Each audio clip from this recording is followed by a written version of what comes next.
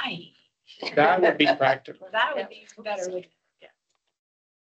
Printed, I think, in Vermont. maybe. Made, I don't know.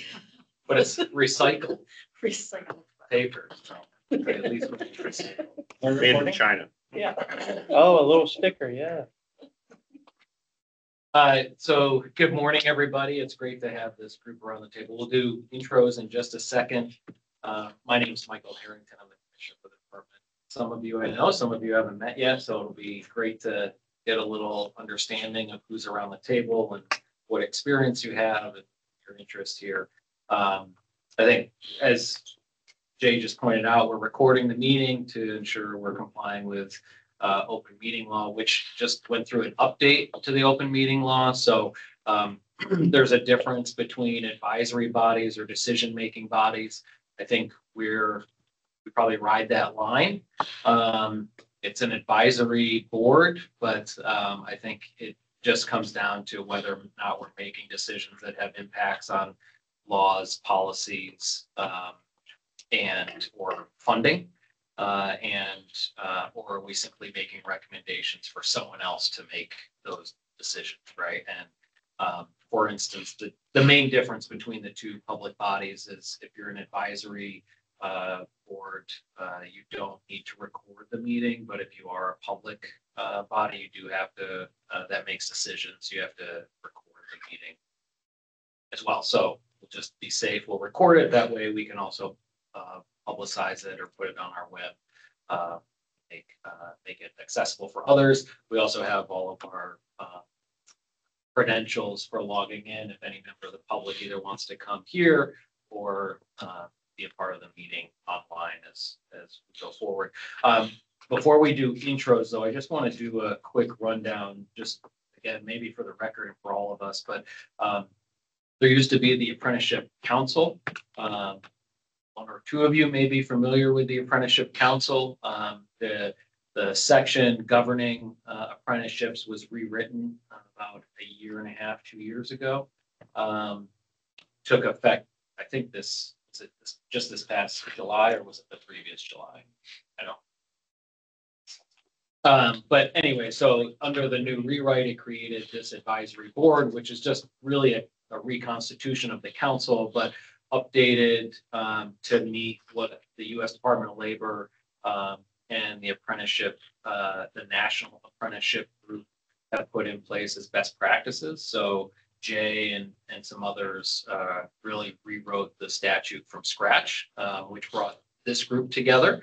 Uh, So we're excited to see the work that comes out of here to make uh, Vermont's apprenticeships more competitive, um, more desirable, uh, more pervasive around the state and more accessible, um, for folks. Um, and so I know they've been doing a lot of work on that. Just for the, for the record, the way the board is made up, um, the Commissioner of Labor designee serves as the chair. Uh, the director, uh, which in this case is talking about the apprenticeship director, the state apprenticeship director, which is Sarah, shall serve as the secretary the Secretary of Education or a designee, the member, um, a member of the State Workforce Development Board, uh, two representatives of a recognized union organization re- uh, representing occupations with apprenticeship programs, two representatives of employer program sponsors, so uh, employers that have a, a sponsored apprenticeship program, one representative from related instruction or training from an adult or secondary career technical technical education uh, program and two representatives from underserved communities, um, all appointed by the governor. Uh, And so that brings all of us together, those of us online and around the table. Um, So why don't we just start off with, with introductions? Um, And if you could, not only share, you know, who you are, what you represent, what organization you belong to, um, maybe your experience with apprenticeships, um, and how they are directly tied to Yeah, so good morning, everyone. So again, my name is Sarah Knight. I am fairly new here with the state, but um, just at my six months mark in this role. Um, as according to Act fifty-five, it's the state apprenticeship director. Um, I guess is the official title. Uh, but my background, I actually come from career and technical education where I worked for the past twenty-five years um, twelve or so, those last twelve as a work-based learning coordinator. So that was really my um, introduction to apprenticeship and, and really where my passion came from because I was working with young people uh, on their career pathways and apprenticeship was um, a really uh, great option and I saw so much success from students, especially in electrical and plumbing. Uh, so now kind of I'm working on the other side of it, getting to work with businesses and organizations to to spread and grow and modernize programs. Just excited to be here. Um, I'm Ronnie Baston. I'm the director at Vermont Works for Women. And I've been there five years, but for many more years than that, Vermont Works Women has been running pre-apprenticeship training programs specifically towards women or gender expansive individuals.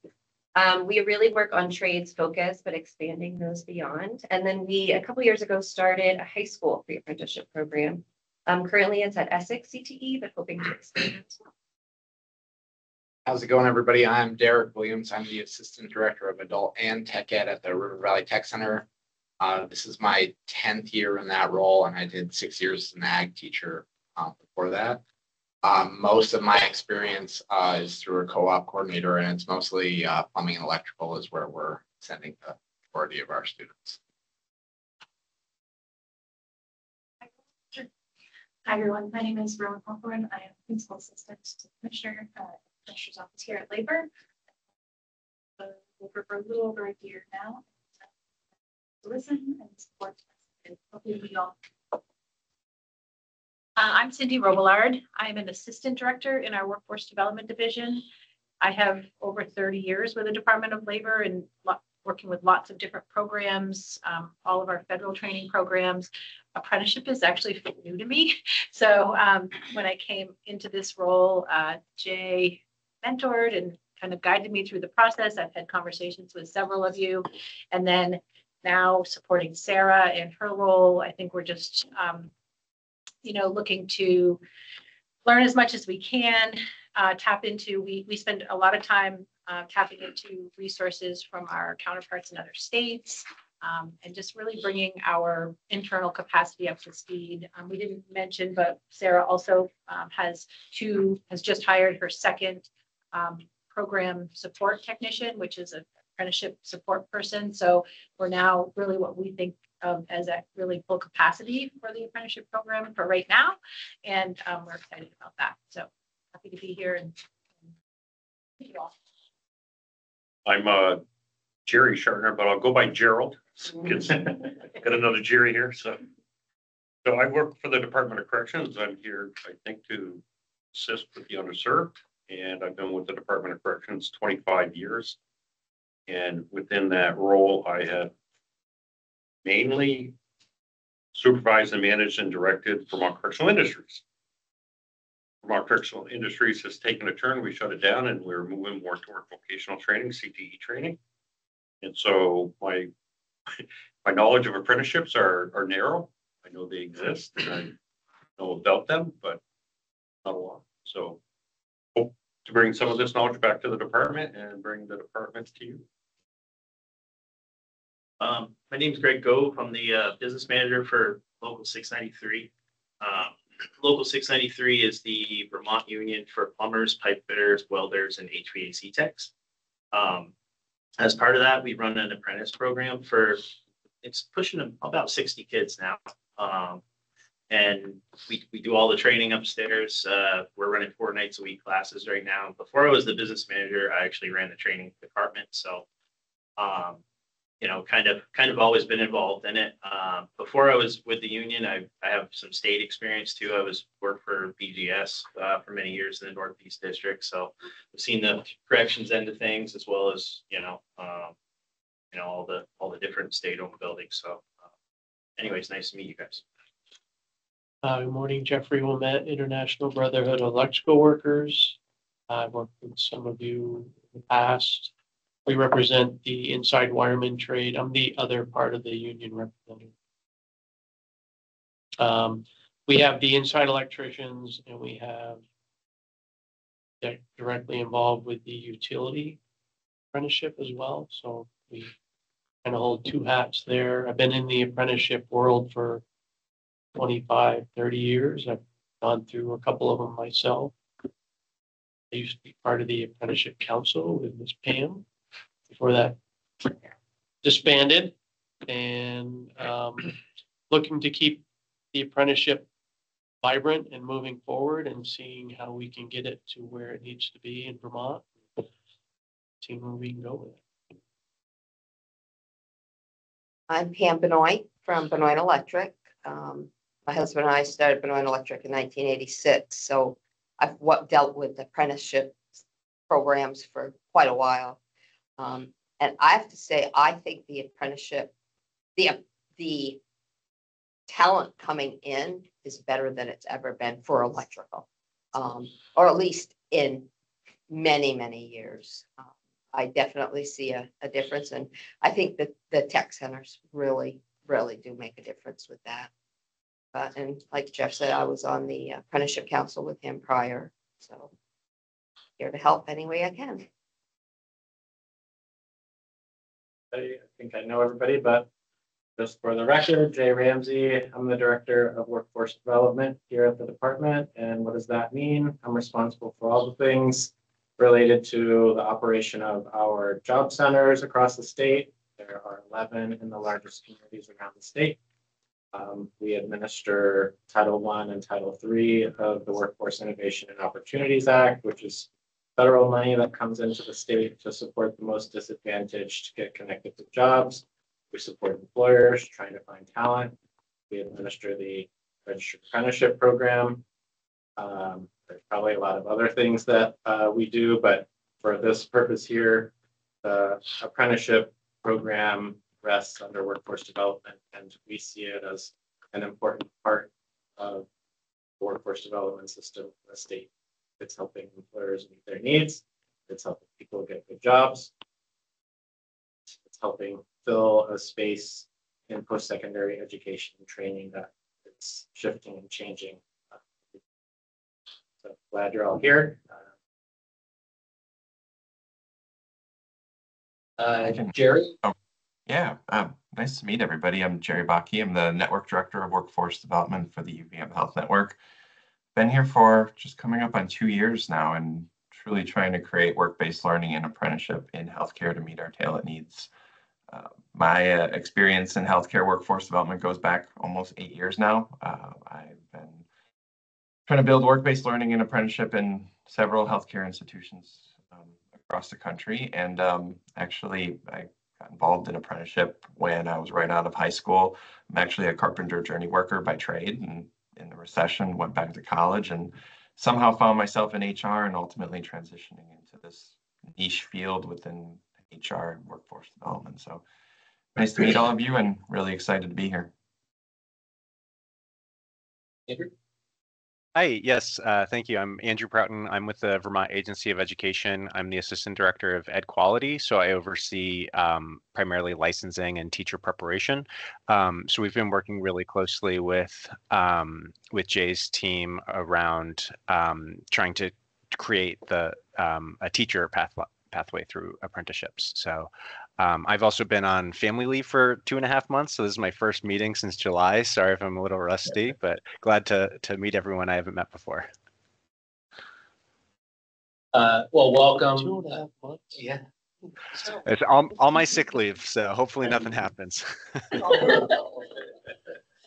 Uh, again, I'm Mike Harrington. Um, I joined the department and state government in twenty seventeen after working for the town of Bennington uh, for a few years and uh, had started as deputy commissioner and then as commissioner in uh, 2019, 2020, first as interim and then uh, as a permanent appointment. So uh, this is actually, I think, into my uh, eighth year here uh, with the state.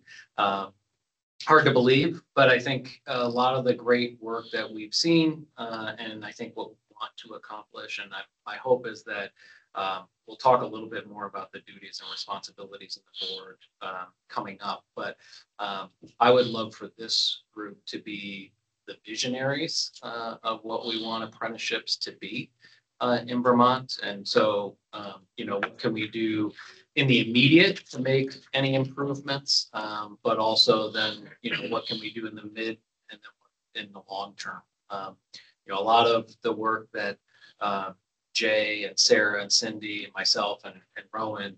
Uh, Rowan and I just came back from a conference uh, with the National Association of State Workforce Agencies where I had served as the chair of the board for the past year and a half. Um, you know, there's a, we get to see what other states are doing in, in apprenticeships um, and bring those good ideas back here. Um, but I think in general, you know, the biggest um, challenge, but also benefit in some ways is the size of our state. Um, it's much more manageable and um, less unwieldy than what I hear across the country from some of these really large states. Um, you know, where they're talking about thousands and thousands and thousands of apprenticeships. And um, I think we have a, a much more intimate, um, tight relationship with apprenticeships that come up through our tech centers and, and into our, um, into our programs with employers. But I do, you know, we should be constantly thinking about what's our, our five or 10 year vision for apprenticeships. Even if none of us are around the table in 10 years, uh, you know, the work that we do now, um, I think could, could chart a course, um, for what's to come. So what do we envision apprenticeships being in Vermont? Um, I think we, we also, um, have a, have started a really great partnership with, uh, the country of Austria. Uh, and have been working with the Austrian embassy here in the US. Uh, Jay and I will be taking a trip at the end of this month, uh, to Austria. Um, with the focus being on apprenticeships, which is really, uh, rooted in their culture. Uh, and so, uh, it becomes pretty much a given that if you're, if you're coming up through school before you get into the trades or profession, you're doing some kind of an apprenticeship program. Um, and so again, it's really built into their, their culture, uh, and the structure of their educational system. So taking best practices from what they do and, and bringing them, uh, back here to Vermont. So, Are you bringing the whole board? yeah, we're gonna- that's my. We're gonna we're gonna need it. Yes, no, I, I absolutely, uh, think we can try to make that work. Maybe not this year, but, uh, in, uh, out years. Um, you know, I think we're, we're Can trying you to put be that in obvious. the minutes? Yeah, Yes. we're trying to be, we're trying to be very mindful of, of not only money, but of like, what are we getting out of this, right? Um, and I think, but I think if, if the relationship really pays off, um, that can set the course for how we want to work with, um, with Austria going forward, um, in other respects too. So that's kind of my, uh, two cents. Um, I think first up on the agenda, and we may end up, um, if we end early, and sorry, I'm not looking at the folks online. Um, but, uh, I'll do my best to, to also jump in front of the camera so you can see me. Um, but, uh, we'll try to get through the agenda if we've got some time at the end. Wrap early. Um, but I'll pass it off to Jay, uh, to give a rundown of workforce development and registered apprenticeships. I have a slideshow, but I'm gonna talk to you first. I'm gonna give you some data points. Um, so you. Maybe all know this, maybe you don't pay attention to these things, which is fine, but Vermont's unemployment rate is two point two percent. And uh, basically, there's two open jobs for every unemployed person. Our labor participation rate, which is of the available people who could be participating in the workforce, are they, it's at seventy-five percent, we're one of the higher states.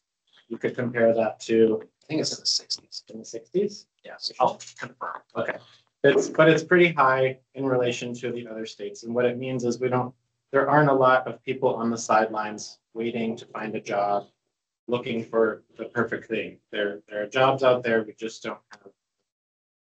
We could compare that to a state like Mississippi, where their labor force participation rate is 40, 50 percent. So they have a lot of people on the sidelines, we don't. Um, another data point that I want to give you is ninety-two percent of private sector employers have fewer than twenty employees.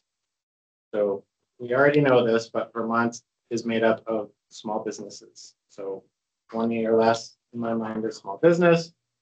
Federal definition of small business is five hundred or fewer, so uh, we need to get a little bit more specific. So what that means is we have to find creative ways to engage those employers and help them train people who might be transitioning from one industry to another or from one occupation to another, or who may be older workers who've had to, because of inflation or changing family situation, may have to re-engage in the workforce. They have to be retrained. They need an introduction to technology, sort of get the, the picture. We're importing talent. So we have um, 680 refugees and immigrants are scheduled or anticipated to resettle in Vermont in the next year. There, um, there are communities around the state, Brattleboro, Bennington, um, Colchester, I'm gonna miss them all, Rutland, where refugees are being resettled and those refugees rely on community partners like the Brattleboro Development Credit Corporation and some other organizations to support them and help them get settled here, get their first job. When they're ready, they're referred to the Department of Labor and our regional offices to get support for training and we can also help with paid on the job training experience. So um, the system that we administer here is shifting to be more responsive to what the legislature calls workforce expansion, right? We're trying to find people who are not in the workforce that could be in the workforce, or people who are not in the workforce as much as they want to be to be there. And so that's all context for the federal programs that we administer, but it has an impact on the apprenticeship program because apprenticeships are jobs, right? So we have to get people into those jobs. We have to help employers build their programs. So what we've noticed, I think in the last, well, what I've noticed since I've been here um, is we need to, we're relying more on um, partners to help develop programs. So Sarah might get into some of the details of the partnerships, but I'll just say, for instance, there's a commercial carpenter program in Chittenden County that was the result of some work of Vermont Business Roundtable and the Talent Pipeline program there.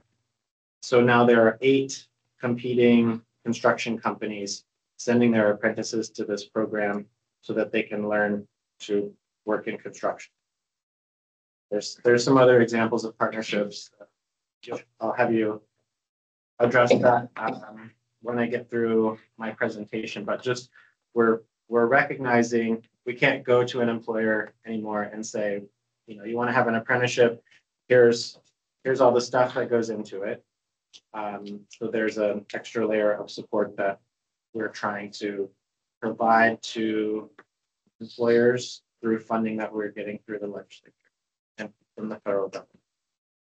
As you're pulling that up, I think one of the things that I've heard, when I look at those, this is one of those glaring differences between us and larger states, right? It's a significant investment uh, for an employer to make, to create uh, an apprenticeship program. And they have to have the, the capacity, not only in the program, but of the uh, be hiring on a regular basis um, to make those apprenticeships uh, worthwhile. And so um, some are able to do it and do it well, uh, but not everybody. Um, and if you're only, so my, probably the most direct experience for me is um, my chair, also the, the passenger tramway board. So the department uh, inspects all of the chairlifts in the state. You know, some of these um, mountains are really only hiring maybe one person or two people every few years. Um, so it's not enough for them to create and sustain an apprenticeship program uh, where they're looking for lift maintenance uh, technicians and mechanics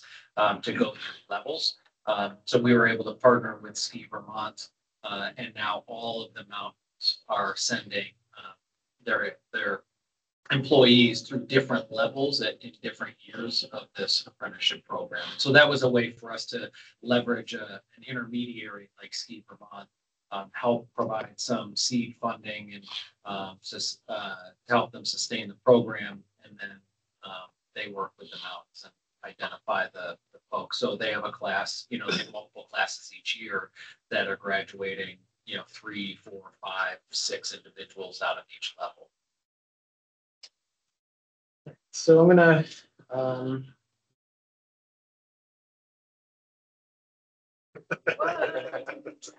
Off the grass. Skip it. So what, uh, what, the purpose of my presentation is to, it's been a few years since a group met around apprenticeship, and uh, as a couple of you have noted, you were on the apprenticeship council. I was also on the apprenticeship council with you, representing the Agency of Education.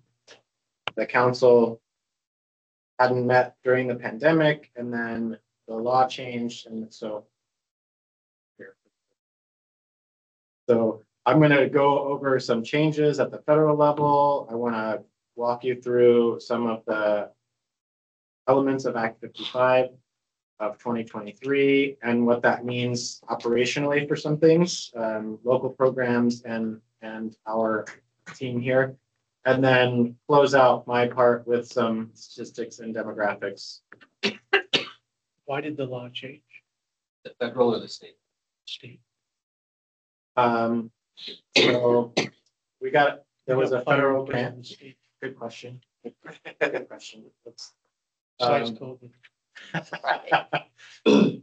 When, so this is, this is all tied up in me coming from the Agency of Education.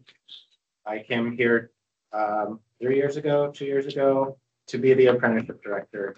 Um, And one of the first things that I was sort of gifted was, let's, we've got a federal grant that is funding work to get us out of our old data system. I won't say any more about that. We're in Rapids now. Um, and that was the purpose of the grant, to get us to, to sort of modernize our system. So we're modernizing our data system and then we needed to modernize the structure of the statute. Um, so that's really it. The federal government said, yes, we want to fund you and we want you to update your statute.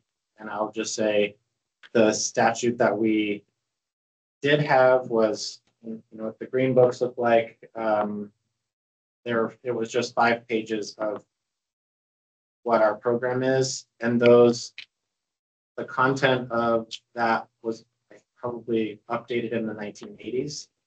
And so it didn't reflect changes that the federal government made in two thousand eight. It it wasn't uh, adequately describing what the department was supposed to be doing. So we updated it, we might have, you know, it's fifty-five pages now, so it might be a little too long, but it describes a modern program. And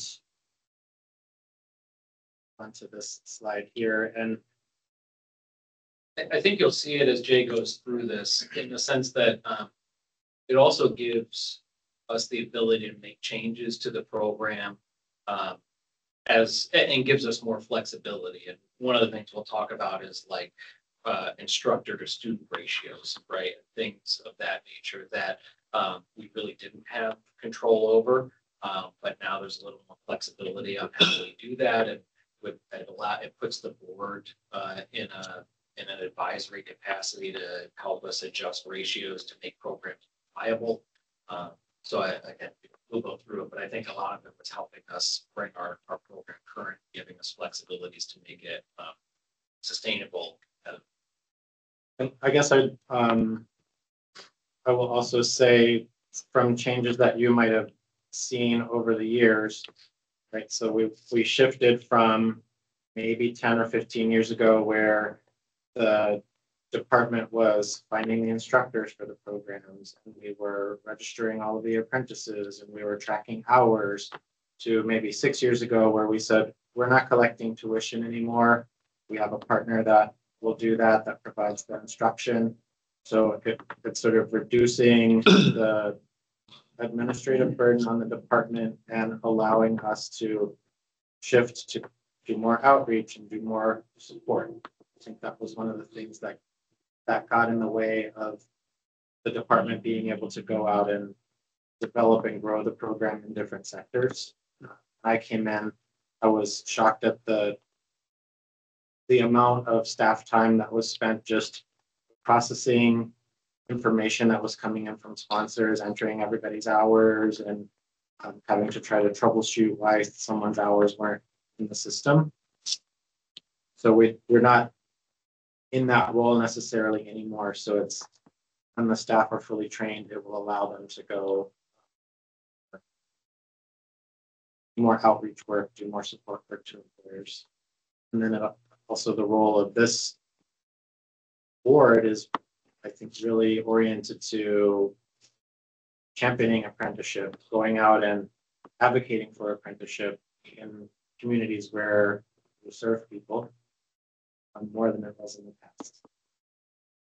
So just a little historic, historical context, the um, American Apprenticeship Program was created by the National Apprenticeship Act of nineteen thirty-seven, also called the Fitzgerald Act.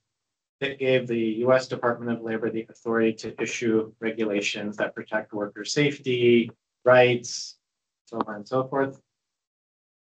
Um, in two thousand eight, so in the seventies, they created some regulations.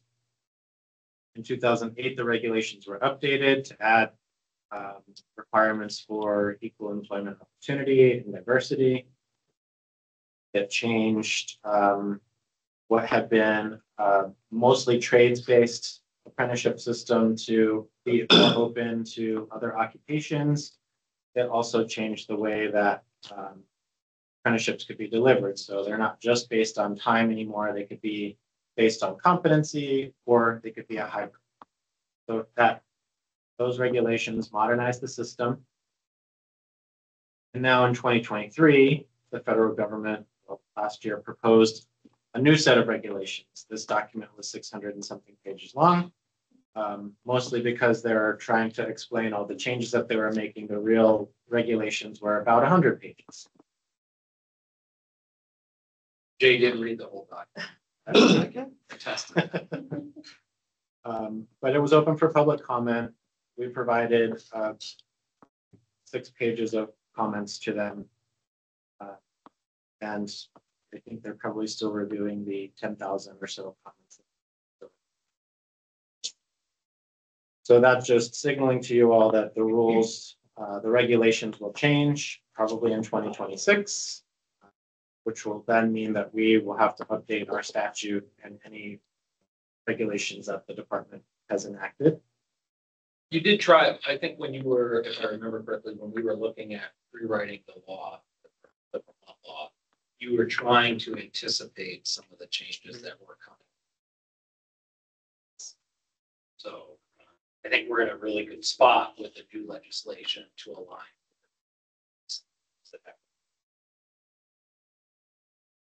So this is the written policy, and then another version of policy is what's, what kind of funding? So what is the money coming to the states do to improve the conditions for apprenticeship? So in, um, prior to twenty twenty-three, all of the grant funds that came from the US Department of Labor um, Office of Apprenticeship were competitive. So we had to write a really compelling grant and get funding. We did a good job of uh, drawing in those funds for Vermont. But last year, they made a shift from it being solely competitive to it being a combination of formula allocations to the states and competitive. So there's still a pot of money. States are eligible to apply for one competitive grant over this five-year period that they're doing this. I'll call it an experiment. Um, so that, those funds are called State Apprenticeship Expansion Formula Funds, or SAFE. So just so you all know, in twenty twenty-three, we received, we submitted an application, received three hundred four thousand nine hundred seventy-seven dollars. And that, um, that set of funds is focused on teacher apprenticeship. We funded a position at the Agency of Education who works under Andrew. And that person is uh, aimed at supporting the development of teacher apprenticeship programs. There's a set of them in the Northeast Kingdom that Sarah will talk about. Um, but they're also positioned to help um, the program be recognized and navigate through the licensing, the teacher licensing program. It's an apprenticeship for teachers. Yes, That was the twenty twenty-three or twenty twenty-four? twenty twenty-three. And, um, so that money hasn't expired. They extended it for all states. Um, and then this year, we received three hundred ninety-two thousand, six hundred fifty-two. And Cindy, you wanna, We're, we're about to, or that? we're about to. We just had to do some combining and rewriting of this, uh, of, of the, of this funding. Um, do you want to talk about, you want me to talk about what it's for? Yeah. Yeah, okay. So this, um, this focus is, the, this year we're focused on the trades and, um, building out pathways for, uh, and continuing to support the licensed occupations like electricians and plumbers, but also carpentry. Um, we know that we have, um, it's a really important concern for our state that we don't have housing. And so we know that we, and we had so many um, need to repair the housing stock that we have due to some of the uh, flooding that we've had. So we just, you know, this focus is on that. Um, it'll, that three ninety-two will fund some positions, not some positions, parts of positions. Uh, it'll also fund, we're gonna work at, um, providing funding to some intermediary partners that will, will continue to build out those pathways. Uh, we do have some new, um, work with, uh, our CTE, uh, programs that Sarah worked really hard at throughout the summer, where we're now, um, our electrical and plumbing students who are enrolled in, in secondary CTE programs are able to be taught the actual curriculum that is taught at Vermont State University Randolph. Um, if their centers wanted to do that, and so we have had some good interest there. So basically meaning that we will have secondary students in electrical and plumbing, uh, secondary students coming out, and they will enter year two or potentially even three, depending on the nature of their secondary, uh, their CTE program. So um, that's kind of the focus of year two. Uh, we have not applied for any competitive funding yet. We just haven't felt like the um, plan was shaped in a way that we were ready to do that, but this is something that I think we should be talking about and exploring a little bit here. And potentially this, it's always annually, uh, we put the proposals in every spring, April, I think. So we are beginning to think about what some competitive funding, this one-time opportunity might look like. For Vermont. So That's on the horizon. And those num, those numbers are usually a little bit higher. The competitive. funding usually So what's the difference between competitive and formula?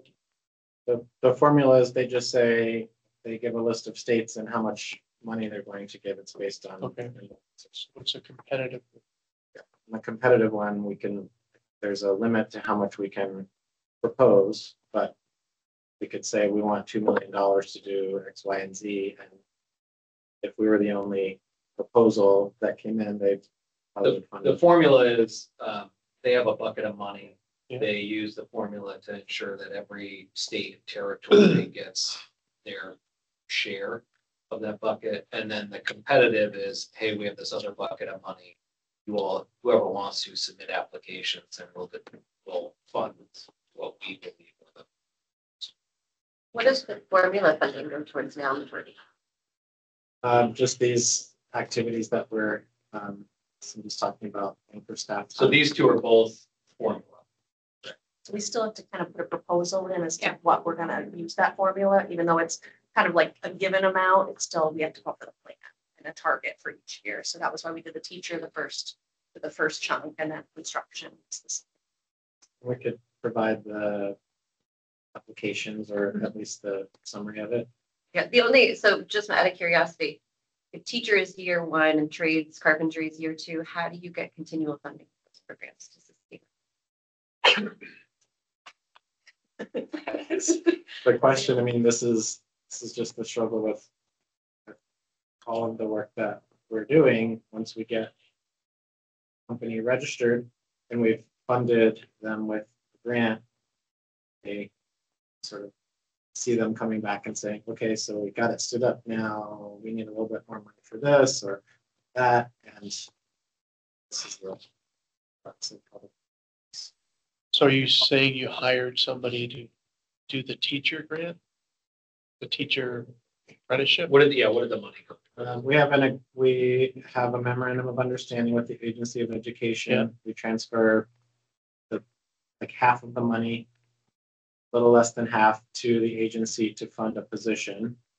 And then we took some other funds that we had and gave a grant to the Vermont Rural Education Collaborative, which is the, the sponsor for this pilot project to fund their activities. And then we have some money in that twenty twenty-three that pays for a little piece of Cindy's time, some of Sarah's time. I think one of the keys to this is that this is expansion. So the idea is that we're continuing to build out into occupations that we may not have been traditionally having registered apprenticeships in or, um, you know, uh, expanding on those occupations, but the sustainability plan is something that I think this money is not really focused on necessarily. I mean, I think that I keep having to remind myself that an apprenticeship is an employer's training program. And so as employers know this very well. So, you know, we have to figure out how to make that transition from what we can do to demonstrate that it works to then have it be something that can be sustained. Jay, do you know, like, as I'm thinking about like the twenty twenty-four building trades piece, right? If that's a multi-year apprenticeship program. uh, I mean, should we be thinking about when we put in for our formula funds for it to cover the, like, let's say again, it's a cohort of X number of individuals, but it's a two or four-year program, right? Should we be putting into the grant the, the lifespan of that, right? So we're saying, hey, this is not three hundred and ninety-two, but it's one point five million to cover, you know, four years of a licensure program. Yes, I mean, that would be one approach, or we could say we're, we're just going to use the money to fund one-year programs or Sure, two yeah, thousand hours, but something like. but that. we could be thinking about that going forward and seeing whether or not the federal government has an appetite. Can the competitive be multi-year? And is that a five year? Competitive is good for five years. I'm not Sure, I haven't paid attention to those details because we We haven't got haven't one. had the But I to. think that's what we're starting to think about is if we did want to apply for the competitive. I think we, we all have talked about, we don't want it to be just for one thing, right? These formula ones are such a small amount that it goes pretty quickly. But if we were to look at a competitive, we might say, okay, we want to now assist with the part two of the teacher to help mm-hmm. grow that. And we need a little bit more for construction for this next initiative, but then we also need to get into healthcare, right? So we may want to look at, you know, a plan that can kind of go in multiple directions. Now, on the trades one, is that to expand the trades? Or to get additional teachers or, you know what I mean? What, what does that do on what's there already? Um, for this, for the three hundred and ninety-two thousand, we are looking at funding intermediary partners Mhm. that will um, develop programs um, that will, there's, there's a conversation about a training center to, you know, um, provide a location for ongoing training, that good work has started already in this area. So it's really to fund the development of the programs, because for instance, you know, prior to, I think, two years ago, we didn't have a commercial craft professional occupation registered. Or maybe we had at one point and then we just brought it back online. Um, so it's to build out the programs that are necessary, the related training and instruction. I think that that's often one of the challenges is people are, you know, struggle to find where can I get that training component? Right. Um, so that would be a part of it is, Some of this should, could also be, um, I think one of the, s- one of the challenges that we often run into is the, the startup cost is a deterrent, right? Whether it's the equipment or the related instruction, or it's a field we haven't been in before, so you're also having to build, um, interest for enrollments. Um, and so some of this can also be money that, you know, whether it's working through a, a community college or a CTE center or a group of employers, right, that to provide the initial seed money to get the ball, you know, the, the rock rolling down the hill type of thing, where if you have regular enrollment on a regular basis, uh, then that can help sustain the program, but it's usually who, who fronts the cost. Yeah. Okay. So- To, to add it on the, the teacher front, um, there, the state legislature did appropriate, appropriate, um, a half a million dollars one-time funds that my team's managing and, and is going to support these initiatives, um, as well as some other just generally teacher licensure. Um, but every one of the partners that we're working with, we're really trying to push them to think about, um, how to enter the space of apprenticeships and how to change their programs. So, so one thing that I would love for support from from this group is is how can we support our colleges to be be creative. Um, the states that it is really working in um, for these using the the safe funds into teaching um, the the community partners and their colleges are really finding ways to lower tu- tuition adapting programs to make it so there's just less total credits and time required um, switching more to that proficiency based or competency based that's that's within apprenticeships which is really great. Um, and then the other piece on the long term is we're working with a lot of our districts to think of ways in order to better use uh, existing federal dollars. So one is uh, title ii funds are used a lot for teacher professional development. Um, so a lot of our conversations are instead of having kind of each year here's this new random topic um, utilize some of those funds to focus your your new hires who are unlicensed and um, go through an apprenticeship program instead of them taking these random professional developments when they don't have that like that basic core understanding that they can get through an apprenticeship. Um, so schools are coming around to that. Obviously, school funding right now is a major concern for everyone, but um, we're feeling really confident that the existing federal dollars can be a huge part of this. They just have to think differently about them. So Lots of questions about money, and I'm making a note here that we'll follow up uh, to this meeting and and do a presentation more more in depth about the funding that we get. So I'm going to shift from the federal policy stuff to Act 55 and more about the administration of the program. Um, So I have a program, if you don't have a team, um, so anyone that was on the apprenticeship team in twenty nineteen is no longer on the apprenticeship team. They're retired or have been promoted or um, on employment elsewhere. And so as I noted, when I came over here two or three years ago, um, there was one person on the team and that person retired. And so I trained a new person and then um, some changes happened in the workforce development division, so I became the director and I couldn't focus as much on apprenticeship. Then that's where Cindy comes in and we were trying to keep the wheels on the bus. And uh, we were able to um, snag Sarah. So as Sarah noted, she's been here six months and the, we have three positions that are dedicated to apprenticeship. The third person was hired three weeks ago. So we're still in a, a little bit of a learning curve. Um, so that's sort of the context of the administration of the program. We've got a new team. Um, as I noted before, our expansion efforts are shifting to industry partnerships. The capacity building thing, like a force multiplier, if you will. Um, as I also noted, we have a new data system called Rapids, the Registered Apprenticeship Partner Information Data System.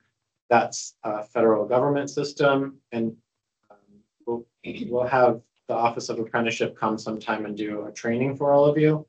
But just so that you know how the system works, the federal government administers the entire system across the United States. There are some states like Vermont that are considered a state apprenticeship agency state which means we make our own rules within some parameters. There are other states that the Federal Office of Apprenticeship is directly in that state administration. But for all of the states, a couple of exceptions, we're all using Rapids. So when a program gets registered, it happens in Rapids. When a apprentice gets registered, it happens in Rapids. It allows us the ability to see is someone registered in another state. Also tells us if someone is fifteen, um, will prevent them from being registered because they're sixteen. And it allows us, um, to be able to provide more accurate reports with less labor, less manual intervention. Um, but also interfaces with apprenticeship.gov, which is the federal apprenticeship resource hub. And you can look at data and statistics for all the states. So it, it has a lot of benefits. But what it also means is, whereas in the past, apprentices were sending in their yellow books to us, um, where they're documenting hours. Apprentices, and we would enter it into our data system. We don't do that anymore. It's really incumbent on the employers to track their apprentices' hours and keep records and um, maintain that system because again, it is the employer's own training program. And that's a shift from the way that it was in the past. So that's one of the things that's come with Rapids. We don't have a module to enter time. So employers have to keep better records. You know, Sarah, um, and if not, maybe this is something you can do over a period of time, but like, I don't know the size of our staff dedicated to apprenticeships. I'm assuming we're one of the smallest staffs. So I don't, and again, I, you know, there's only one state that's smaller than us. Uh, But I, like, if we looked at the bottom, you know, ten states and, or smallest states in the country, I don't even know where, like, I think Wyoming is, uh, smaller than us. And so, uh, from a population standpoint, so I don't know if, uh, like, if we looked at their apprenticeship program, it would be interesting to see, hey, do they have three like us, or do they have like ten? Right, because I think we have to, a lot of this is around capacity building, you know, if, if regardless of who's in the White House, the focus through the US Department of Labor has been heavy on apprenticeships and the future of apprenticeships. And that may change over time, but I, you know, I don't think, I think our team does great work. I don't think we'll ever reach where we want to be with just three, three staff. So I think we're also, as we're thinking about kind of the two, five, ten years down the road, what type of, um, resources do we have to have in play to have a really robust apprenticeship system? Sarah, do you want help? Yes. Okay. Absolutely. You know, you know. No, I do. I do. And I think, what, you know, I went to one conference when I first started, um, so I got to meet some people from other states and. And I don't know about the number of people, but I found it interesting the different titles of people. You know, some states had a quality, apprenticeship quality person that just went out and did the monitoring and the making sure programs were running like they were supposed to be. And that's an area we just haven't had the capacity yet. So we're just starting that now with our new person and kind of developing that process. But that means time out on the roads and visiting all these companies and interviewing apprentices and the mentors and making sure. Um, so, you know, some states had a quality, you know, assurance person, others had a youth-based, so just focused on the youth or pre-apprenticeship side. So I think, you know, I think growing that way and having people that can really um, focus on one side, so it's not spread so thin, right, across. I think Jay mentioned, and the reason I asked is a few years back, the DOL was doing all the administrative stuff of it. And essentially got pushed out onto the employers, which I get it. Um, our biggest concern with that has been, uh, I mean, we're, we're lucky in that we have a multi-employer apprenticeship program, so we do a lot of our own administration anyways. But Rapids was a nightmare. And I think it still is. Getting all of that Rapids data in and, hey, it's not working today, it's working tomorrow, who do I contact, this, that, and the other thing. So we're still working through that Rapids program on the electrical side. And then on the utility side, we, you know, the department had full control over the electrical utility and said, "Oh, we're done. And so they talked to the IBEW and now we're, we've picked that up and we're sharing that responsibility with Green Mountain Power to work with all of the utilities. Because they have seventy apprentices right now. I mean, that's, it's a lot for the utility industry right now. But it's, there's so much um, transition in, in that world right now. So we're still working with all the utilities to get them on board with having them get their standards finalized, because none of them, a couple of them have their standards finalized. And they're still struggling with rapids. They're still struggling with how to get onto the curriculum. Struggling with the, we're getting instructors, so we're migrating through that, but rapids is a nightmare. It'll hopefully get better, but it has been When that shift happens, does the union absorb that admin or does the employer? It's sort of interesting because with the rapids now and having to report for each apprentice. Okay, what are they spending their eight hours doing? Are they doing plumbing for two, three hours? That's been the disconnect for us because we, we're not with the apprentice. And our employers that we partner with, the signatory contractors, they, their feeling is that, okay, we're. We're union and we, we pay you guys to do this. We don't want to have to like do all this other stuff too. So it's, it's kind of been a hard transition as far as uh, getting a handle on re- proper reporting. But I think, you know, anything's gonna be hard when it's new, so. I mean, I only ask, We the still majority of sponsor. employers we try to send apprentices to, they tell us we don't have the admin capacity to take on apprenticeships. Oh, yeah. we still sponsor them. So they can go anywhere. They don't have to, if they get laid off with one employer, they, we still sponsor. So they can go to another one, so they'll get dropped, so to speak. And for non-union, like we Got it. absorb that cost, you know, the extra admin. And we as an organization have tried to offset that, which is not sustainable either. And for employers that have, um, so I don't want to confuse matters, so just to be clear first.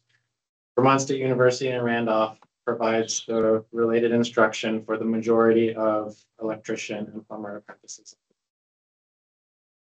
The employer's choice to use them, or they could use something, someone else. There are a couple of other providers, but in addition to that, um, the State University in Randolph is the sponsor of a multi-employer program. And we give a threshold of four apprentices or fewer. So VTSU kind of administers the program on behalf of the smaller employers. Um, they have been allowing apprentices or people who wanted to be an apprentice to sign up for courses and not have an employer sponsor. They're trying to move away from that because that, that's not really an apprenticeship. It's just a training. So there, there may be some opportunity for VTSU to help find placements if they want to. do this. But there's a timing thing. So they Sign up for courses in September and they start in October. And so if you come in after that, you have to wait. So. it's Not a perfect system. It's improving. I think our old system was a nightmare. This one might just be a bad dream. Uh, Got better. It, it is frustrating and it just doesn't work for no apparent reason. So it happens to us too. Well, you and I used to have those conversations initially with Rapids. Jay, come on.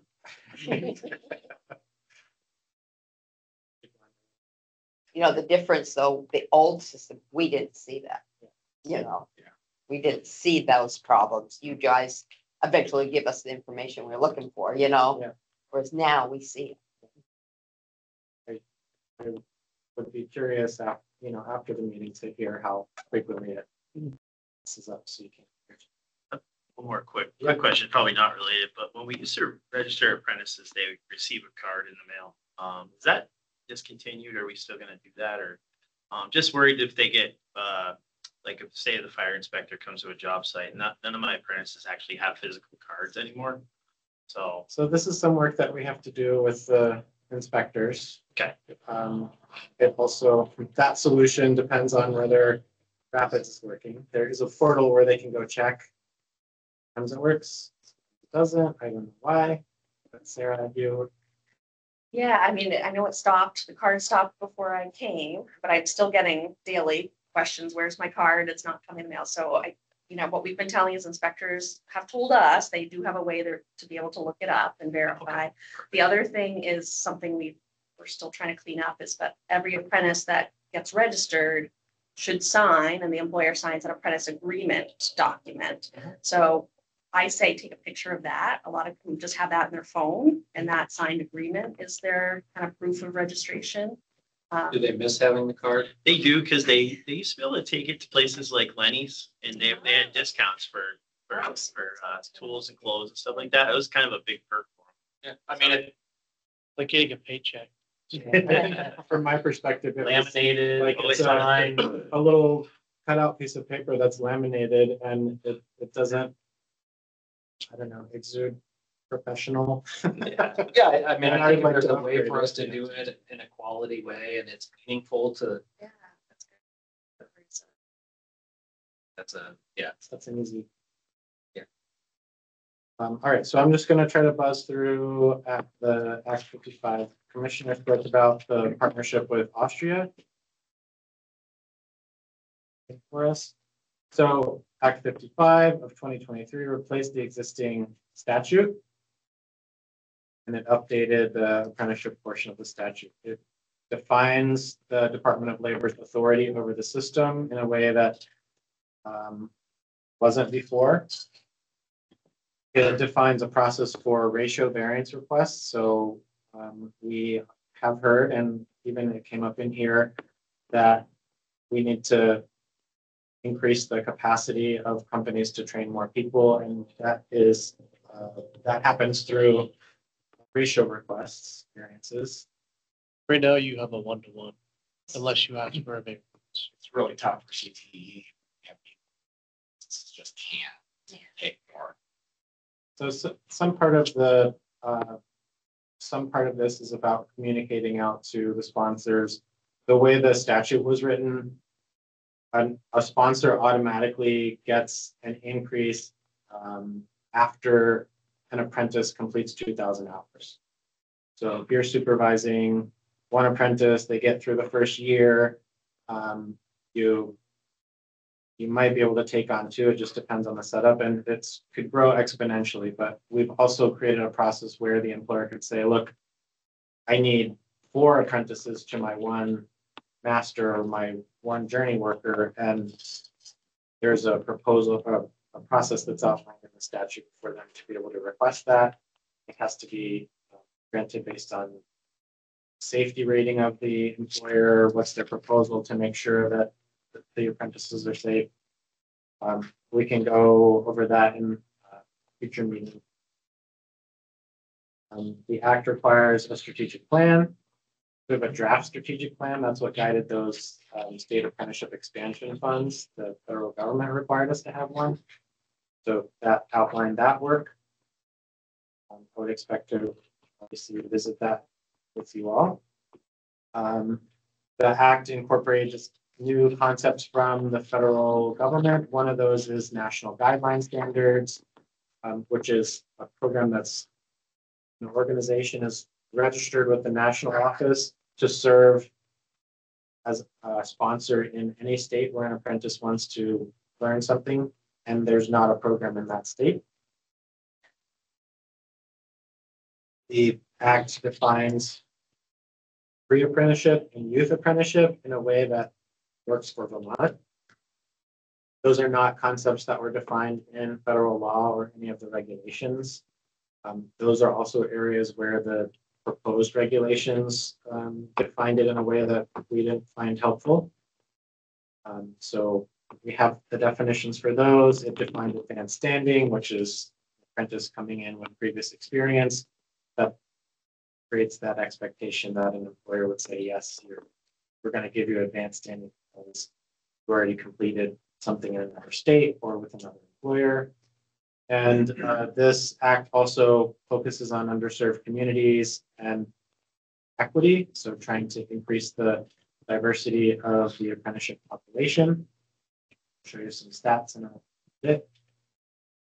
So just quickly going over the top line items from the act. Uh, one section addresses the requirements for program registration and how it operates. Uh, The, the local program, not our program. Another section addresses ratios and the variance process.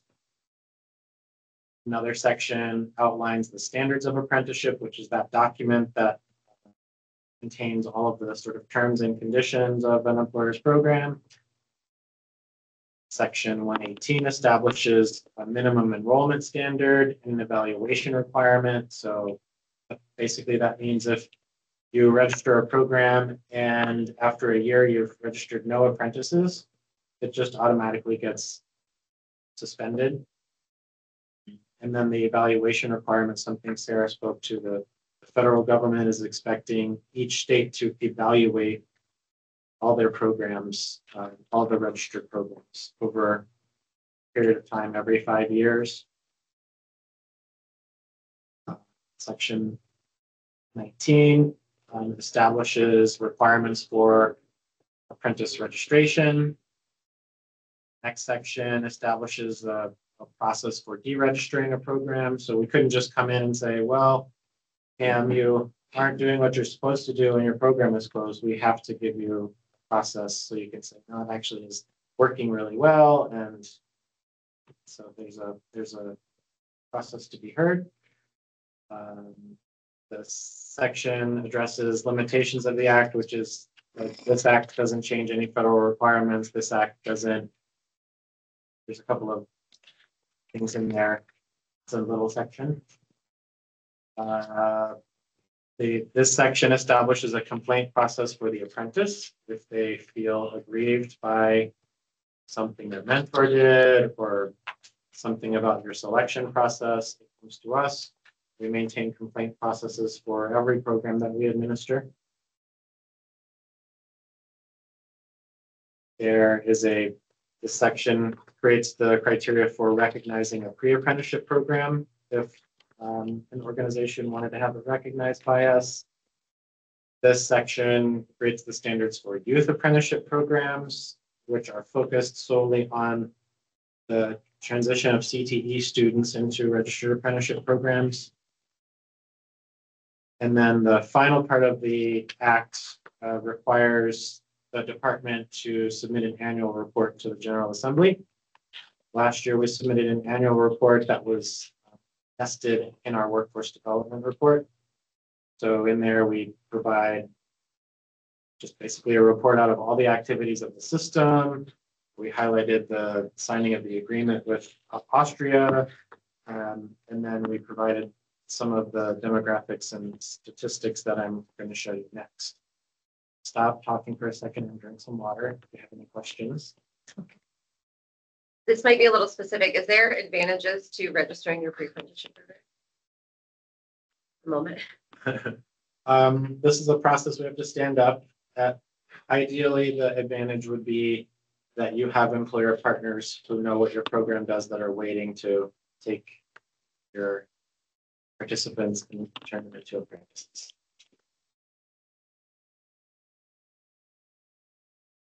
All right, so I'm just gonna get into some facts and figures quickly. Um, I know I'm over time. Okay, right? Okay, we'll make up time on. Alright. So I pulled some stats this morning from Rapids. This is the way Rapids displays information. So look at the left-hand column first.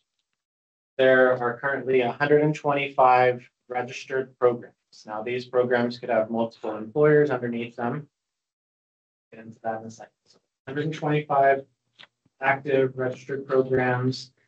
Um, three programs are pending, which means they've come in through um, the federal government's website. They refer them to us. And then Sarah and her team does some investigative work to get it to a state where we can register it. Um, there are four incomplete registrations, which means the process has been started and the sponsor has to change or tweak something to get it to approved status. And then there are four suspended. I think those are probably carryovers from when we did, we moved out of our old system into the new system. And then there are thirty-two programs currently that don't have any apprentices. If we drill down on registered, we could see um, that there are actually four hundred and forty-five employers participating in the program. Whether they have their own program or they're participating under a multi-employer program, it's possible an employer could be in two or three different multi-employer programs because of the occupations. Twelve employers have been disabled, which means a- access to log in to Rapids has been turned off for one reason or another. And then there's, there are two incomplete employer registrations. Questions about that? So of the hundred and twenty-five registered, thirty-two don't have apprentices? Is that Yes. how I read that? Yep. That's as a program, not an employer. So. Left column is all the programs and then the right column is sort of the drill down into. Get more visibility. We'll go to the next slide, which is about apprentices. The, the next two slides are about apprentices. So as of this morning, there were. Um, it says eighteen hundred nine active apprentices. And if you go down to the overdue line, you see there are three hundred and five apprentices that are overdue, which means when they're registered, the system calculates when they should complete. It's based on the occupation that they're associated with. So this is just a sign that there's some cleanup work that we need to do. So the active count today is probably more like fifteen hundred eighteen oh nine minus three oh five. Um, There's two suspended, there's eight, uh, sorry, forty-six incomplete registrations, and then seven are pending. So the process is employer creates the registration. Registration comes to Sarah, me, Cindy, whoever gets to it first to review and make sure it's filled out correctly and to approve. Any action that an employer takes in the system has to be approved. Yes. Quality control. Um, so I'm gonna. This is. Every apprentice in the system. And remember, we have programs that take a year to complete. We have programs that take two, three, four, up to five. Um, So this slide is going to show you the statistics of new registrations this federal fiscal year, which starts October first and ends today. So October first, twenty twenty-three to today. And there's a breakdown of uh, gender and age. So what this tells you is in this fiscal year, eight hundred and twenty-two apprentices were registered. New apprentices, never registered. The breakdown is eighty-one percent of them are male, twelve percent of them are female. And um, the stars mean that there is a number there, but I suppressed it because it's uh, less than ten. The age breakdown is uh, half of the apprentices are between sixteen and twenty-four. Forty-three percent are between twenty-five and fifty-four, and one percent are fifty-five and older. I'm going to show you a comparison to last year. Last year, eighty-five percent of new apprentices were male and fifteen percent were female. The average age of an apprentice in Vermont was twenty-seven. Average age of a female apprentice was thirty-one.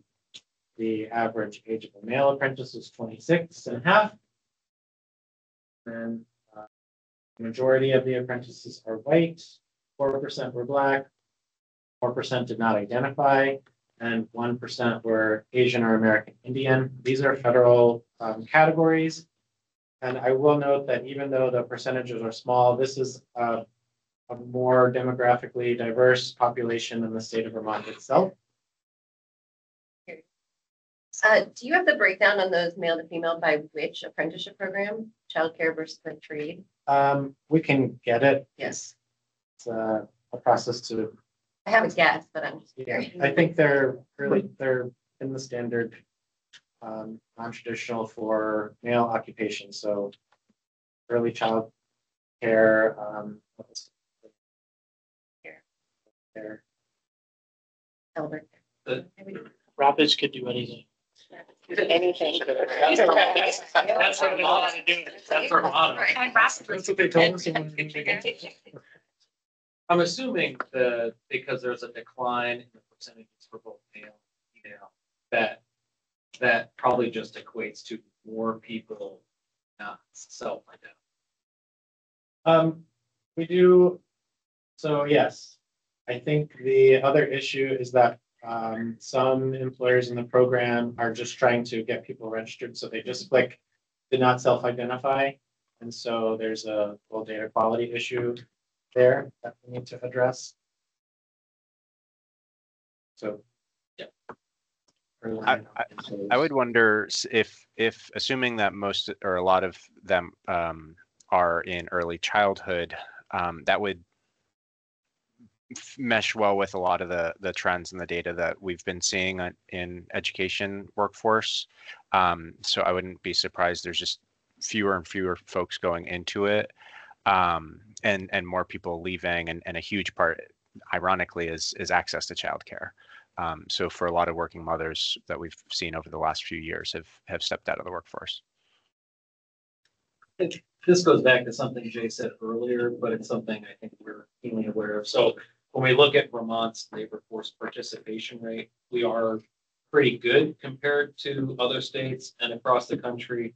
It's actually sixty-five point seven percent. Okay. Um, but the, but the, the highest we've ever been, I think, was back in the eighties, we're like seventy-two percent, right? So sixty-five point seven is still pretty high for us, and it's actually high for the, the nation. Um, the, the, the things to know about the labor force participation rate and how to utilize that number for something meaningful is that you can age into the labor force, right? So there's a, under the age of, I think sixteen, um, you're not counted in the labor force. And then afterwards, you are counted when you enter the labor force and begin working. You can't age out of the labor force. So no matter how old you get and whether you retire, you're still counted as part of the force. Um, the only people who aren't counted in the labor force are minors and people who are institutionalized. Um, you know, whether it's incarceration or some other. Um, and so really the, the Vermont saving grace on the labor force participation rate is that people work uh, longer in their lifetimes in Vermont than in other states because we have such an old workforce. Um, so there are a significant number of people working over the age of fifty-five. Um, but we really should be, it, for our purposes, I think, looking at the labor force participation rate, which can be broken down by age category um, for the prime working age. And that's where, um, you know, when other states are thinking about, other states look at it, so I, I have a friend who works um, and ran the Alabama Department of Labor, you know, they have a real hard time getting people in the prime working age to get into the labor force. Uh, and so that's where they focus a lot of their energy. When you look at Vermont, our labor force participation rate in the prime working age, it's actually very high. Um, so again, just as we're looking at this, right, and looking at the age categories, uh, they, those pretty much align. I have one more slide and then um, an Excel sheet to show you So the other component of the program is occupations. So these four occupations were newly registered, which means there's a, there's a sponsor associated with them. Metal building assembler, one company has one apprentice. Um, environmental control system installer, HVAC technician, a pre-K to eight teacher, and a timber frame carpenter. So I'm gonna, I'll stop sharing. Meeting,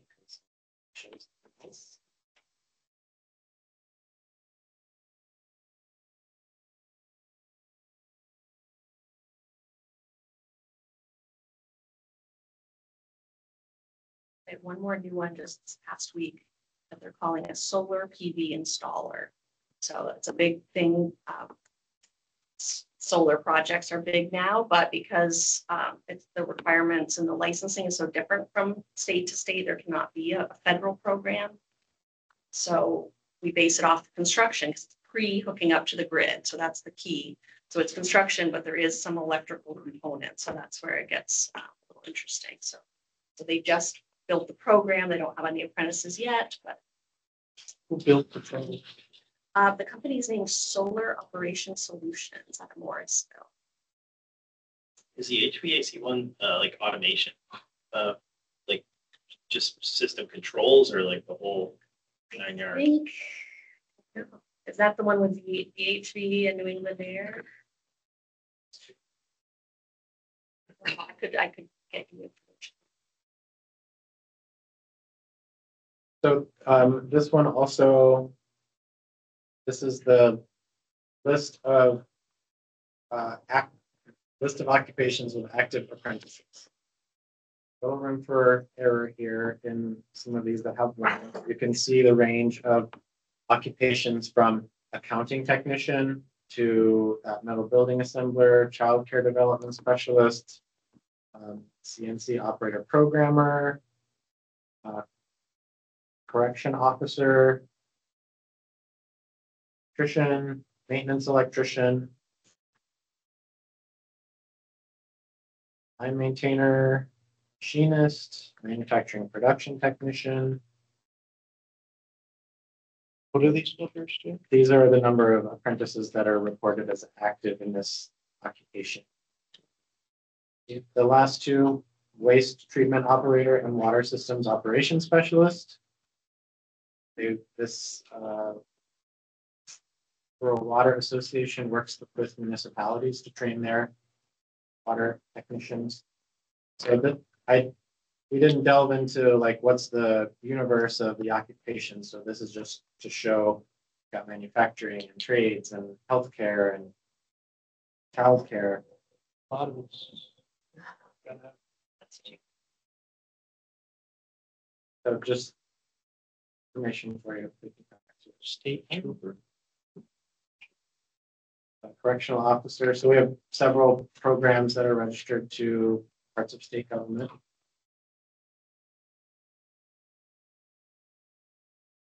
Jay, I'm just monitoring time. This is, this is all I had. Okay. Is this information you're gonna share with us via mail or? Yep. I think part of, too, what we should talk about is um, what information is good for this group to have on a regular basis when we meet, you know, when we get into our cadence of meeting regularly, what type of data should we be bringing uh, as a department for you to review? Uh, uh, the, the board's required to meet quarterly, uh, but we can meet more frequently if desired.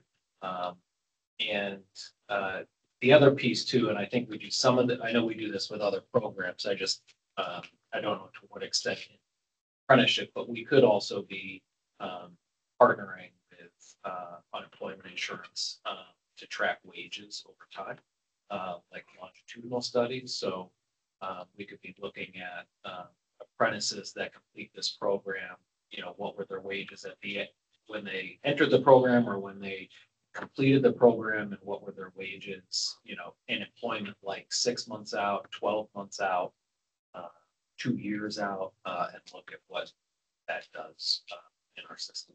It could be kind of a skewed number because it, sometimes as an apprenticeship, you're not always paid And some people are leaving higher wages to go into a program, Sure. potentially getting lower wages until they graduate. the. Yeah, so you could be looking just at when they're an apprentice and beyond. Yeah. Right, so what was their employment like? At the start, Two years, middle, you know. Yeah. And then you can see whether or not they changed employers multiple times. You can see, you know, a lot of that data is tracked um, nationally to, again, just highlight the significance of apprenticeships in terms of uh, wage growth. Um, I'll just do quickly a rundown of the of the duties, um, which are outlined in the, in the bill. Um, but essentially, it's written as the Vermont Apprenticeship Advisory Board is established to advise the department, the sponsors, employers, related instruction providers, and to promote the development and strengthening of apprenticeship programs. Um, the board shall receive and review reports from the department regarding provisional and registered apprenticeship programs, including programs under development and program registration proceedings. Uh, the board shall advise the department on the creation of new apprenticeable occupations. Uh, the board shall advise the commissioner on requests for ratio variances, which we already talked about. The board shall advise the department on policies and procedures developed by the department and on the adoption of rules. Um, the board shall provide technical guidance for identifying and promoting best practices in operating apprenticeship programs. Uh, the board shall create and convene working groups that are tasked with specific, uh, activities related to improving the quality, safety, diversity, and alignment of apprenticeship programs. Working group membership is not limited to appointed board. Um, and the board shall, uh, meet at least quarterly or more frequently as requested by the chair to accomplish the objectives. Um, I, I think the other piece too, Jay, that I was thinking about, it's not in the, in this, but, um, there should be some alignment or integration, uh, between this board and the state, uh, workforce. Um, and that board is going through a reconstitution as well, uh, and a reappointment of members, uh, with a slimming down of the board in recent statute from fifty-one to twenty-seven. Um, and so, uh, once that board is appointed, there's also an office of, uh, workforce expansion and strategy or workforce development and strategy that, um, will essentially administer and advise the board, uh, and their staff there. It's staff that's already existed in the past, but they need to be appointed. And so, uh, that's all work that should be coming out in the next, uh, month or so. Uh, I think this, these two groups would have a, a close tie-in. Uh, There's a vacancy on this board. Someone from the state workforce board would be. Uh, anything else you wanted me to cover under that, or shall we jump into Sarah's? Any questions on the duties, responsibilities? Great. Well, mine's a pretty quick and easy one. So we do want to um, think about future meetings. So we are uh, supposed to meet at least quarterly. So I think I just wanted, you know, brief conversation about um, better days of the week. You know, do we want to consider them all in person, obviously with the option to be remote? Um, or maybe every other one is remote for all of us, or you know, kind of what's the best thing for you? Um, we're kind of, we're at the last day of the third quarter, right? So do we want to meet fourth quarter, um, which would put us kind of the end of December though, which is a hard time. So maybe we want to look at the beginning of January and start. So just any thoughts, any, was Monday, a good day for people? I think Techie Day, but Monday worked Ah. fine, because that's usually our Okay, put fire out days. Expected to hear that. yeah. The fact that we could all get together on this Monday seemed unusual. Technically, I think we should probably meet this year. uh, Because we're Calendar year, yeah. kind of in the second quarter, we haven't made it to the fourth quarter yet. Um, so we should try to meet some point in maybe November. We can hear about your trip to Austria. Yeah. Or Pam and I's trip to Austria. And another, another kind of important thing that's coming up to share is that we are going to undergo our first or, or in recent years, um, full program review on November fourth and fifth. Is the date, uh, six, I fifth and think. sixth. So Yeah. that means basically the Yes. federal team will come and um, take a look at all of the things we've been doing and compare our practices and look at our rapids data. Um, and so we, if we were to schedule a second meeting after that, it would be, we would have some information to share. What are they now? Five, six, November. We want to look at third week of November before the holiday. Stay away. Ah. And Rowan is noting that that may be National Friendship Week, oh, which That's right. would be the perfect time to meet. Well, but that's pretty week. make. Yeah, I think So you're talking, so we could also do the week of the tenth, right? The eleventh is Vet- Veterans Day, but if we're looking at the twelfth, thirteenth, fourteenth.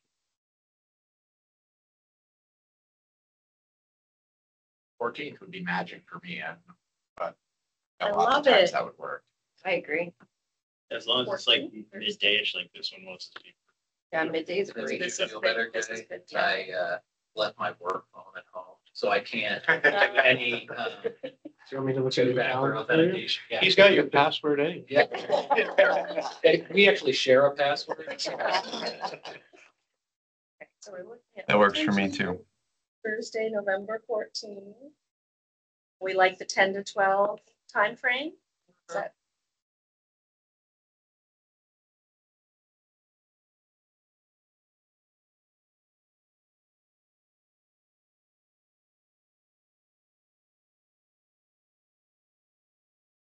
I also think it, it's, uh, I'm fine if we want to keep the hybrid option.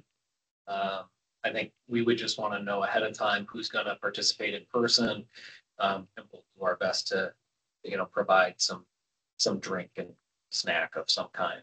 Um, but, you know, we're not, that way we're not buying for ten when two people show up. Um, Otherwise, I think the hybrid option works.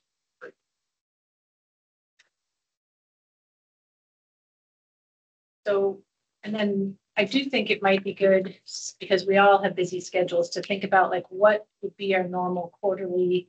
We want to look at the second Thursday of the quarter on an ongoing basis, just so we could even be looking out into twenty twenty-five. Then, I think, yeah, if we can in the next meeting, set the schedule for twenty. Okay. Right, that would be a Yep. great, we said, you know, we can say these are our four schedules. okay, Excuse me, but even some objectives of what you guys might be looking at us to do, help determine whether it's quarterly or monthly or. And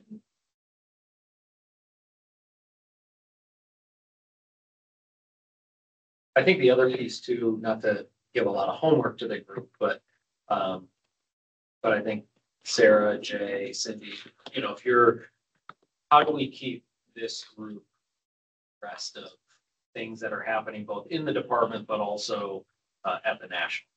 Right, so as, you know, we're promoting National Apprenticeship Week, make sure the board, uh, is involved, uh, in those opportunities as well, or, you know, at least made aware of um, the things we'll be highlighting that week.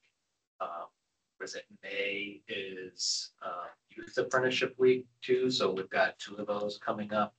Um, Figure out how to involve the board, but I also think, you know, to me, when we think about getting together next time, what are the pieces of that meeting we want to have, right? So some of it can be information sharing. Will there need to be any decision making? What, what is the level of the, the board needing to do during, you know, your, what are the objectives? Um, are we wanting to help try to articulate, um, at least the, the first part of a, of a longer term vision that we're trying to create? Or where do we, um, see as gaps or hurdles in the system, right? If the ultimate goal is to increase, um, the, the adoption or creation of new programs and increase the number of apprentices, um, I think we, we know across the state, there are, and I think all of you probably do from your own respective areas, know where we're missing the mark. As a state or as uh, the workforce development division or as an apprenticeship program, right? So where can we be um, capturing more students that are in some transition point in their life? Um, How do we make sure those folks graduating high school are staying in Vermont and not leaving the state? Um, How do we make sure, um, you know, people aren't in the state because of lack of employment opportunities? All of those, those things. If we want to try to um, highlight or target uh, underserved or underrepresented populations, you know, how do, how are we improving our work there as well? So those are all types of things that I think this board can help us uh, prioritize, strategize. It'd be good to know, there's a lot of initiatives, it feels like happening across the state and hard to know who's involved in what and where. Like the Weatherization Training Center that, you know, just was funded um, by an out-of-state company, but a big focus of that was an apprenticeship model and an instructor pathway as well, but that seems like work outside of here, I'm guessing. One of the slides that I put in and then took out was work with HireAbility. So like a slide about all the um special populations, if you will, that we're working with partners on HireAbility, Vermont adult learning. There's probably a couple of others, but that that wasn't visible here. So I I agree. We could say here are all the initiatives. Yeah. That would. The other thing we should do is just throw it out there, is wordsmith. Apprentice and pre-apprentice. Yeah. Because you have employers and unions who think of it one way, and then you've got educators. Think of it differently, even though you, you said Act fifty-five defines it. I think we ought to have that discussion, that way we on the same page when we're talking about either one. I, I think the other piece too that we run into a lot is the term apprentice is used interchangeably by a lot of people. And so we also are trying to figure out how do we highlight the value of a registered apprenticeship program? And that's what, you know, the, at the national level, they're trying to figure out too. Uh, is how to highlight the, the value behind being in a registered apprenticeship program as opposed to what somebody might call just an apprentice because they're, they're doing on-the-job training. And there are changes coming to the WIOA program federally that would affect us. Slowly. Yeah. okay. I got one other thing too, as far as, I think we could boost those numbers big time. Um, We're talking about adding extra staff and whatever, but I think the inspectors that are tasked with going job sites and doing the permits and everything, they, they're so overworked that they don't have time to focus on any enforcement. And we hire a lot of kids that are, hey, you know, I work for this guy and he said he'd make me an apprentice in a year and it's been two years and nothing happens. I think there's a lot of those workers that are out there that are, should be apprentices that aren't, that we need to like. If we had one person that could just go job site to job site and make sure everyone's playing by the, the right rules, that would be, that would boost those numbers right off the bat, so. Totally agree. Right. Yeah, Sarah is, um, as she's gotten her feet under her, one of her goals is to be at, um, both the electrical licensing board meetings and the plumbing. Just to have our presence there, which has not been as consistent as it should be, but I think that would be a good, um, that might help close the loop on some of those. Yeah, that's my first one's tomorrow and that's, um, that's a big topic, especially now, again, we've moved away from those yellow books and the cards. Yeah. Um, but how people are tracking hours and that for electrical, there's one test, there's one set of hours they're supposed to show categories for, but it doesn't fit every employer. We have a lot of industrial electricians that are working on machines, they're not building houses, but yet they have to make up, and they're telling me they're making up numbers to, to, right, fit the they- requirement. And it's, so it's, you know, are we encouraging them to submit to the licensing board incorrect hours? And how can we work with the board to make this a, a better system and, uh, and, try- and help the employers, as you mentioned, the administrative side of tracking those hours? Uh, Is it the apprentice's role? Is it the employer's role? You know, we get apprentices fourth year thinking they're graduating. They say, where's my certificate? And I have no hours for you. And my employer didn't do that, and I've had three employers over the last four years, so how am I gonna go back to three different? That's And get- very, so very tough. common. Think it's That's a really tough thing. So I think just some system, you know, like as we continue to think about modernizing, one of the things we've also spent some time looking at is some sort of technology that, I mean, we all have these at the end of our arm, you know, that we could use for tracking. And we've even seen some demonstrations from some vendors out there that might, and we might be able to do some pilots with some target, targeted groups of either electrical or plumbing where there's a big volume and is there an easier way to do it? Like, let's, see, let's maybe take away some of the manual pieces that we have. Certainly come a long way with that, but there's probably even more we could do. And that would be something we would want, I think, this group's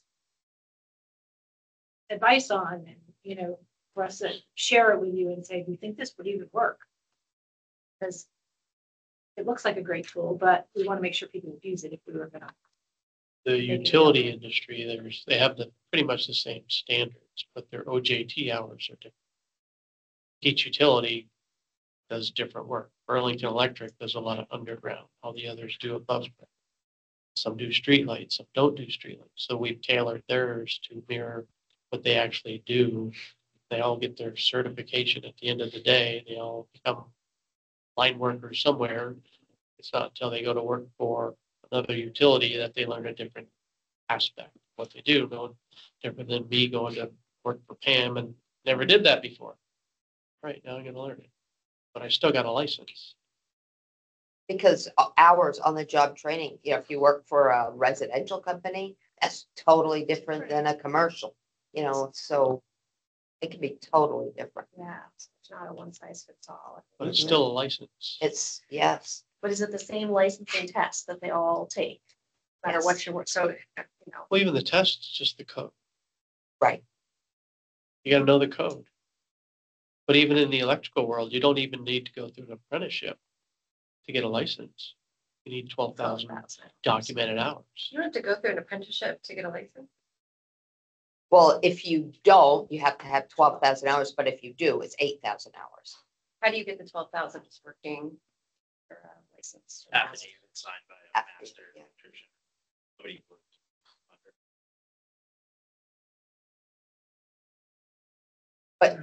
But um, tracking hours, that is a problem. If we get a new employee, they say, oh, yeah, I was registered, and there's nothing. There's, you know, that's tough. Because they don't, these kids, they don't know that they're not really getting somebody tracking this for them and updating and, Yeah, some of that is some hard feelings when they leave, they Oh, they withhold the information. oh, So yeah. If there was something electronic where they're doing it right along, then they can't. Mhm. Yeah. Well, that's what the two apps that we looked at, that other states are using, you know, that's one of the things we've heard is that it puts it into the apprentice's hands. So Yeah. every day, they ha they can see where hours they are and they hit send and it goes to their, the master and they have to approve and it goes to us. And we So got it, the and it just- apprentice the does it? apprentice ha- Yes, they Oh, have to gosh. initiate. Fill it out. Well, well, that's why we need the question, right? But the, the instructor, with the Mentor. license Has to has to sign off. Yeah, So at least they're not doing the manual. yeah. It, it's just getting an apprentice to do that.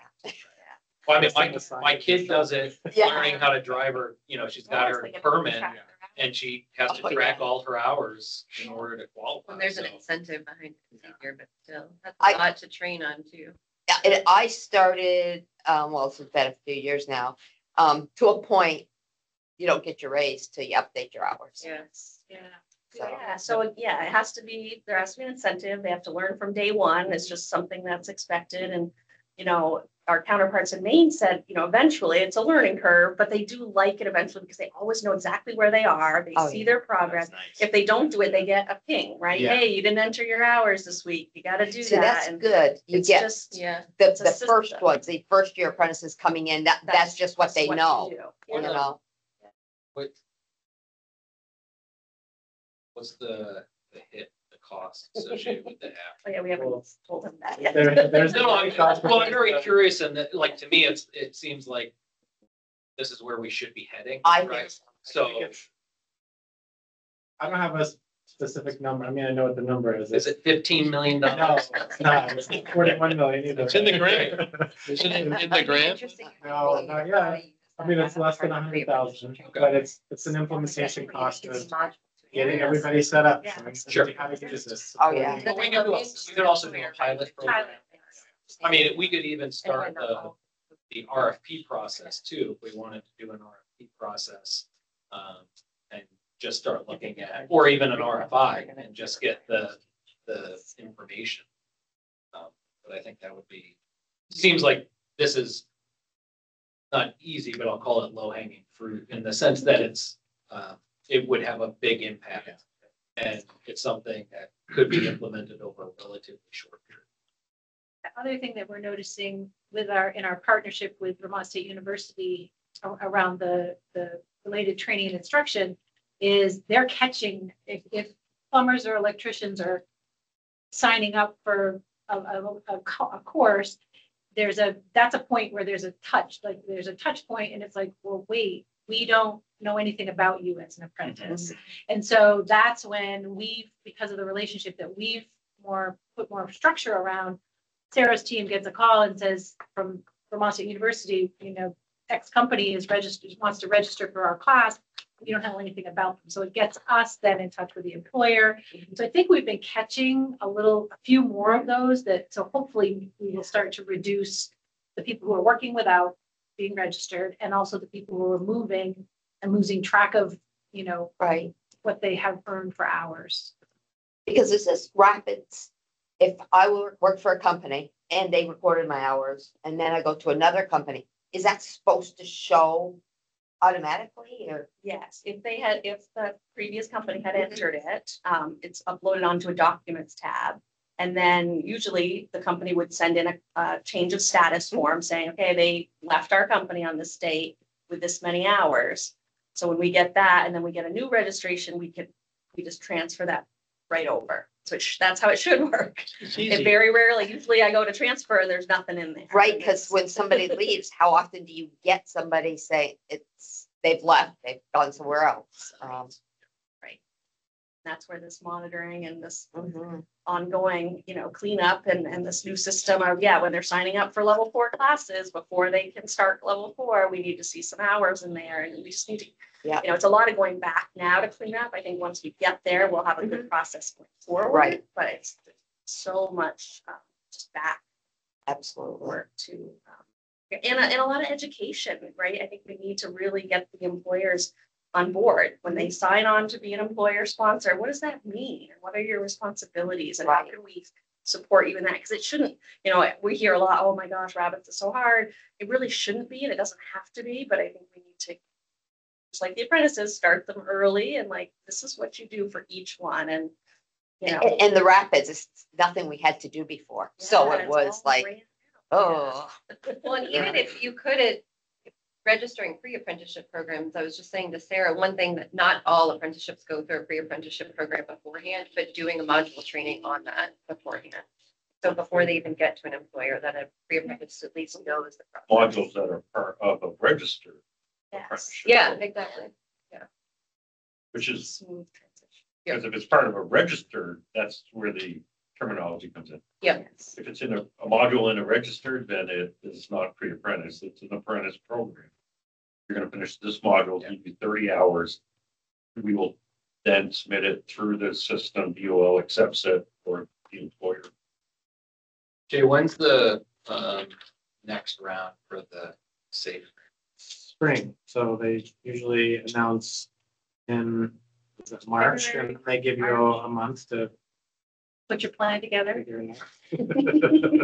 which is why we need to be thinking about it now. So the current SAEF grant, even though we applied and received it in the last, the program year that ends tomorrow, It started in July. it started in July, so.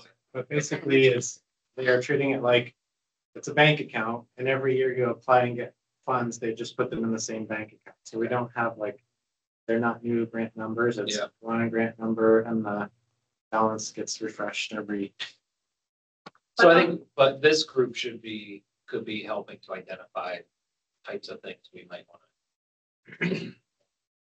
And that's, some states have used part of that money for those apps. That's Yeah. Where some of that funding has come from. Well, I think if we, you know, in my mind, we should be looking at what other states have done, but they- it's always the implementation cost, the setup, the implementation that costs the most. So I think if we build that into that, if we, you know, if you're, we're able to put staff on one of those grants, even adding another person for a two-year period, right, helps us move the program forward.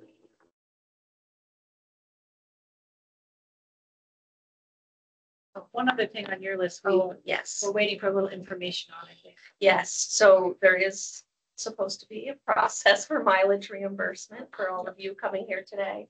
I just don't know this yet, so I may have to be following up with you. I'm Uh, sure it's just Year some end couple closeout and all sorts of um counting things for the business office, so there's a form that we'll send to Okay. you that you fill out. We um. We may need to set some of you up as a vendor, so you have to fill out a second form. to- for Just put it towards my trip to Austria. Just right. You'll be, you'll be Start all, deduct. all squared up and ready to go in twenty thirty. Um, it, the last section we have, which we're right on time, is any comments? Not sure if there is any. Um, see anyone online? So, uh, So who does this go out to? You say public comment. How is it? So the, the meetings are noticed um, through the standard notice procedure, which is posted on the Secretary of State's website, on our website. I think as we become more active, you may, you know, for instance, um, again, when we do the tramway board, a lot of the mountains participate in those because the decisions that board is making directly impacts them. We could be having, you know, as we build out our agenda, we might have members from the CTE community or other employers that want to come in and speak to the board. Um, If we want to be talking about like future rulemaking, uh, we might have public comment then. So I, you know, the, the public comment section is just a placeholder because I don't think many people are going to come to the first meeting, but um, it really depends on either whether we have outside speakers coming in or we're handling a topic that would garner some interest. Great. Um, I'll just pause there for a second and see if anybody has any questions, comments, thoughts, concerns. Not, we can adjourn. Made Vermont. Nice. No. That's a recommendation. An- Andrew, anything First from your? decision. Support the printer apprenticeship program. Great. All right. I'm uh, good, thank can I you. have a motion to adjourn? All right, then a second. All right, perfect. Uh, all- anybody opposed? How about we just? Okay, uh, motion passes. We are adjourned. Thanks, everybody. Appreciate your first Thanks, Andrea. participation in our first meeting. Yep, nice to meet everyone. put this together.